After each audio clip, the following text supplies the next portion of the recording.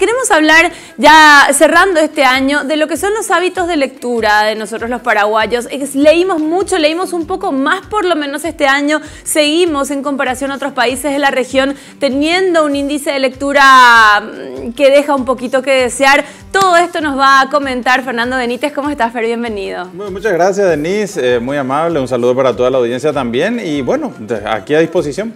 Bueno, sabemos que como editor y como propietario de Libros para Todos tenés mucha, mm, manejas mucha estadística y tenés mucha data de lo que nos gusta y no tanto a los lectores paraguayos. Hablando un poquito primero de la cantidad, ¿estamos leyendo más?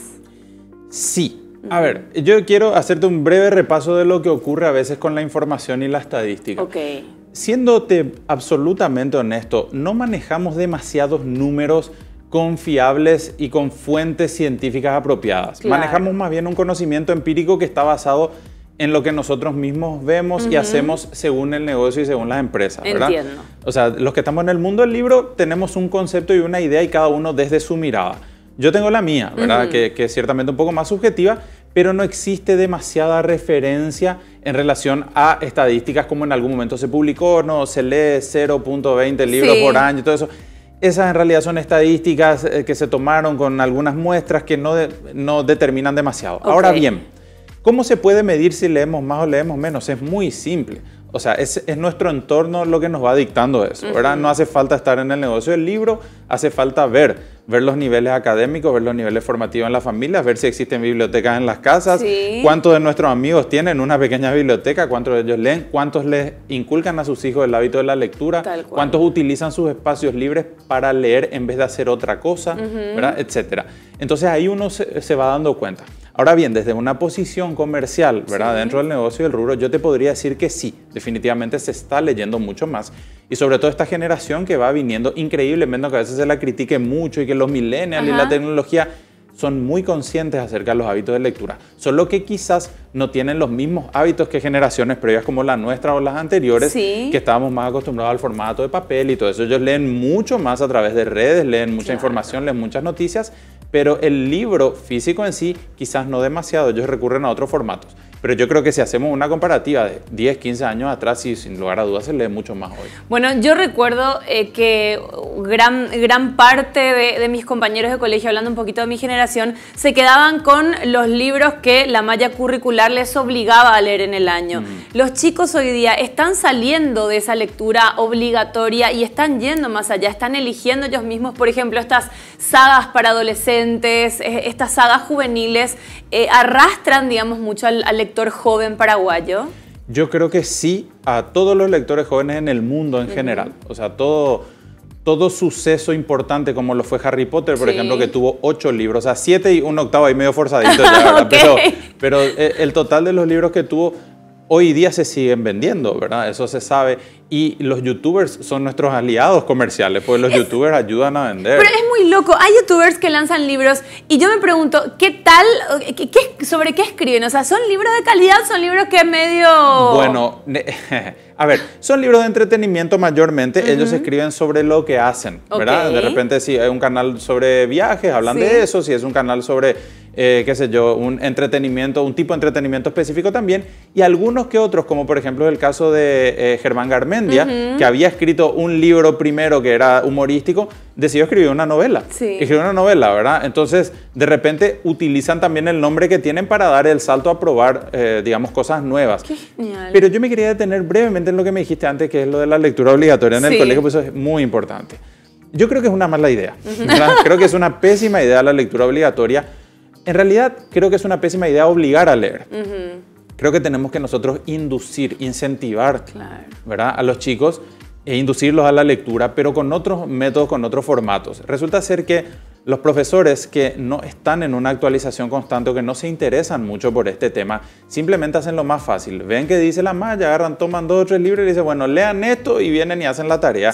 Y no se involucran con la lectura en sí. Y a veces yo estoy casi seguro ni siquiera tienen idea de qué se tratan los libros, ¿verdad? Entonces es un gran problema. Y darle a un chico preadolescente, un niño, un preadolescente, un adolescente, el Quijote o yo el Supremo, es condenarlos a muy probablemente terminar detestando la lectura posteriormente, cuando en realidad lo que tenemos que hacer es que sean amigos de los libros, es decir, ir llevándolos por el camino que a ellos les gusta, el entretenimiento. ¿Por qué no las plataformas, los youtubers?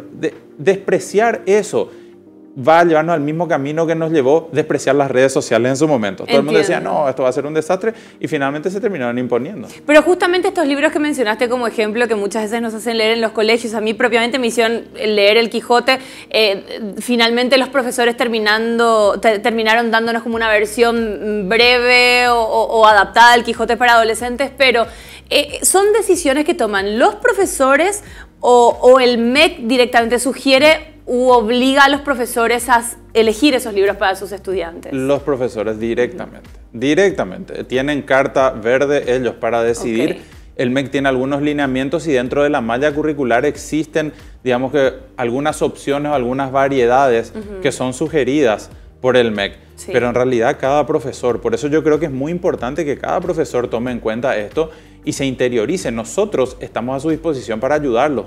Nos pasa muchísimas veces que llegan los padres desesperados a la casa. Esto es lo que nos están viendo, saben. Llegan eh, a, nuestras tiendas y nos dicen, a mi hijo le pidieron este libro en el colegio. El libro se dejó de editar en el año 85, ¿verdad? Entonces, o sea, el profesor nunca se actualizó, jamás. Tiene idea y, fuerza a que, bueno, que se consiga una foto, que se arregle el alumno. Y eso no está bien, ¿verdad? El profesor está justamente para acompañar el proceso y más hoy en día que cada vez se haría menos indispensable su labor. Entonces, con más razón, si el profesor quiere volver a tomar ese estatus de, importancia y de relevancia dentro del proceso de desarrollo académico, lo que tiene que hacer es involucrarse más todavía y conocer. Eh, por eso nosotros estamos para ayudarlos. Esto no, es, digamos, una crítica despiadada, porque trabajamos con profesores también. Es simplemente ponernos en contexto y que la realidad nos dice hoy que esa es una carencia que tenemos desde uno de los lados. Después está el lado familiar también. Claro, por supuesto. Ahora, si hablamos de autores paraguayos, ¿cuáles, según tu experiencia, son los que actualmente eh, más está leyendo la gente? Bueno, a ver, nosotros no tenemos una producción literaria demasiado significativa porque es una cadena, es un círculo. Al no tener una, eh, un mercado muy grande, las editoriales se cierran a poder, eh, digamos, eh, editar a más autores. Entonces, ¿qué ocurre? Los autores no tienen un espacio donde, al cual recurrir, digamos, para poder hacer sus publicaciones. Entonces ellos, como no pueden publicar, no tienen el dinero para autopublicarse, digamos, entonces se complica y yo digo que hay mucho talento perdido por el camino.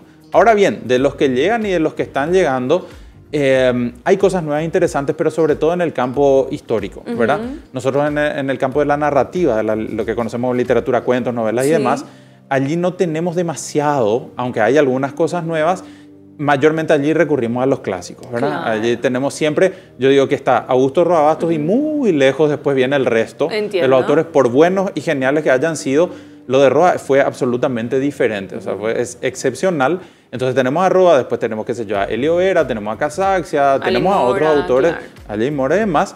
Eh, Josefina Pla, que es una paraguaya adoptada, digamos, Barret también, ¿verdad? Rafael Barret pero no tenemos hoy día, digamos, una producción en el campo de la narrativa muy grande. De cualquier manera hay cosas nuevas. Perdón, sí. Se dan fenómenos como salta la noticia del Premio Nacional de Literatura de este año con tal novela. ¿Va la gente buscando esa novela?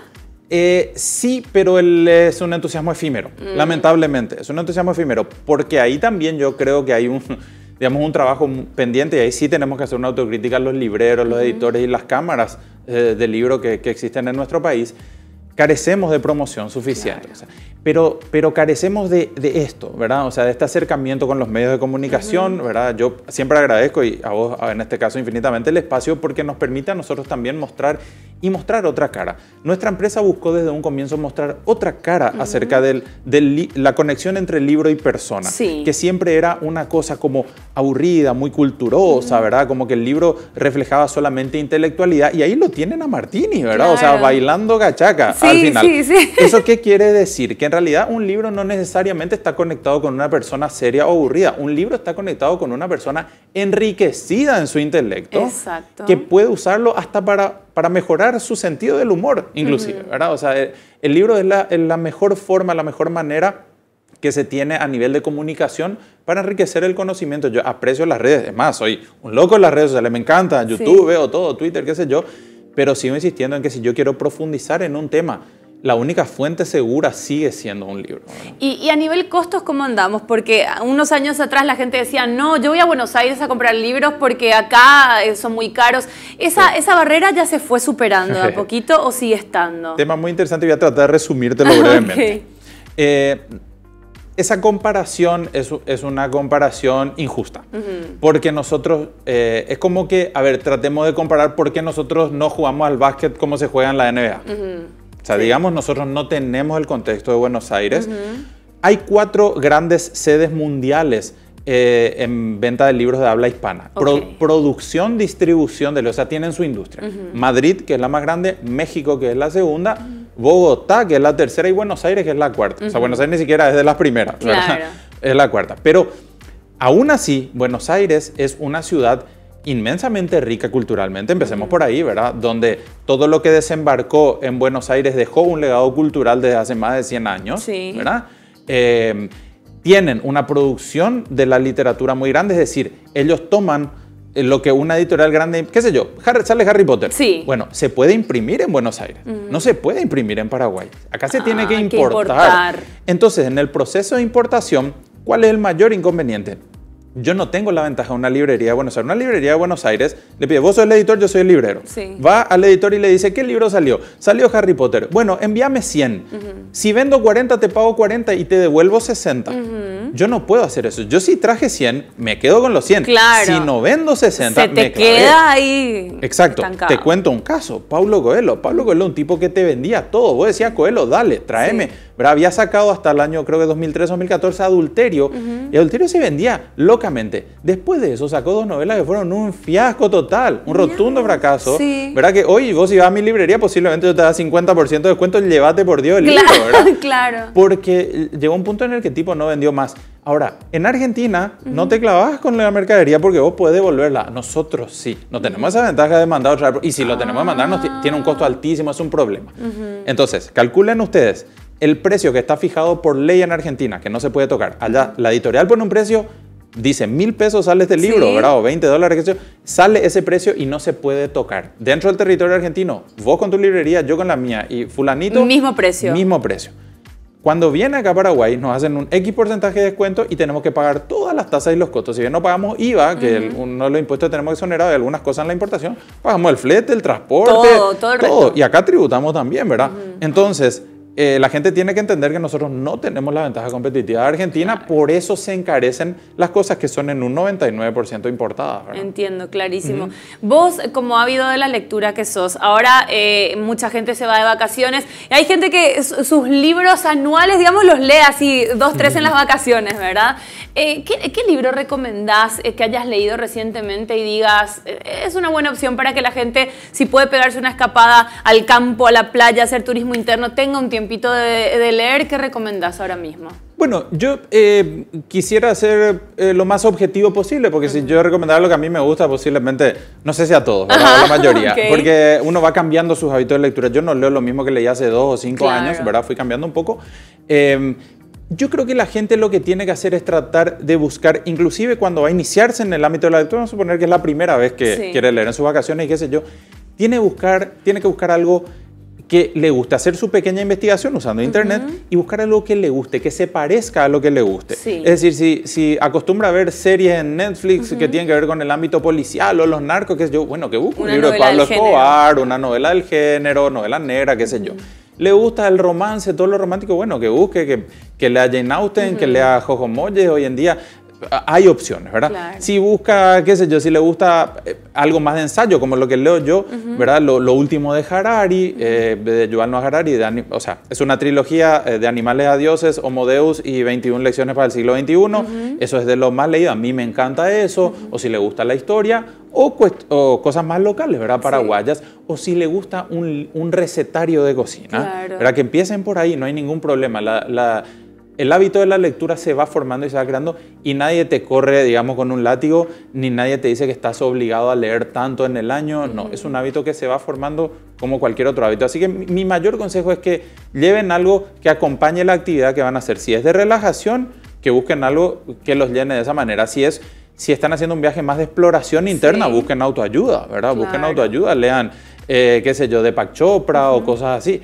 Entonces yo creo que tienen que ir buscando por ese lado, por lo que les gusta y se parece al viaje que van a hacer o el espacio que tienen. Y para introducir a nuestros hijos en la lectura, porque hoy día vemos chicos ya eh, tres años en adelante con la tablet o el celular, ¿cómo hacer para quitarles los dispositivos electrónicos y que los reemplacen en ciertos momentos del día, por lo menos por, por un libro? Eh, yo no sé, a ver, no sé si quizás tienen que, hacer una especie de batalla o de contraposición porque eso es como decirle, deja esto que te gusta y ven a hacer esto que no tenés ganas de hacer. Creo que en realidad los hábitos se van formando principalmente con el ejemplo. Si en la casa hay libros, los chicos hasta por curioso en algún momento los van a leer. Claro. Si los padres tienen el hábito. Eso es lo más fácil para inducir. Pero además de eso, lo que tienen que hacer es que sea progresivo también, acostumbrarlos en pequeños espacios. Cuando son muy chiquititos, mostrarles los cuentos y leérselos, porque ellos todavía no leen. Mostrarles las figuras grandes, los colores y empezar a hacer relaciones. Aclaro, esto lo digo empíricamente, yo no soy experto, no soy este, psicólogo ni, ni, me dedico a la cuestión infantil, pero entiendo un poco de esta cuestión de ser padre. ¿verdad? Entonces, lo que hay que hacer es eso, inducirlos a ellos, ir mostrándoles el camino e ir en etapas de a poco e ir generándoles curiosidad, dejarlo un poco con las ganas, interpretar la historia para ellos, no que solamente sea una lectura lineal porque ellos se distraen, claro. interpretar la historia para ellos hay algo muy interesante. El creador del Señor de los Anillos, J.R.R. Tolkien, él en realidad empezó a, no encontraba una literatura que le gustara para sus chicos, como le gustaba escribir, él empezó a formar todo ese mundo para escribirle a su hija. En realidad era... No tenía idea. Claro, él empezó a escribir para, para digamos, eh, que su descendencia pudiera tener una historia que él le pudiera contar. Y tanto se entusiasmó que terminó creando mundos, lenguas, etcétera. Y bueno, hoy en día es una explosión comercial que él ya no llegó a ver, pero, pero así funciona, ¿verdad? O sea, uno va creando las propias historias.